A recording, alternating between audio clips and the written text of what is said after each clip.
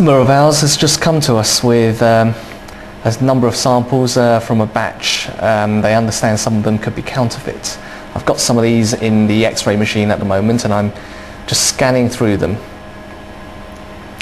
Now um, one of the things that we look out for is the, um, the frame pattern here as shown uh, by these uh, dark lines. Also um, if we go into a higher magnification you'll notice uh, there's also some bond wires here as well.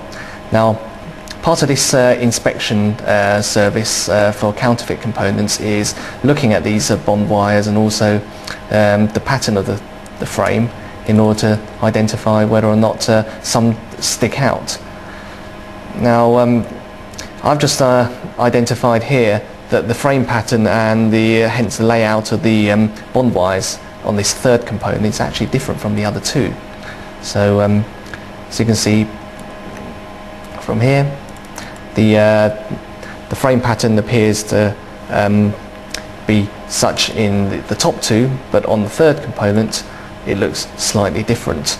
And also you'll notice uh, there's a small outline there around this rectangle which denotes um, the edge of the silicon die and that's not seen on the other two but seen on this one.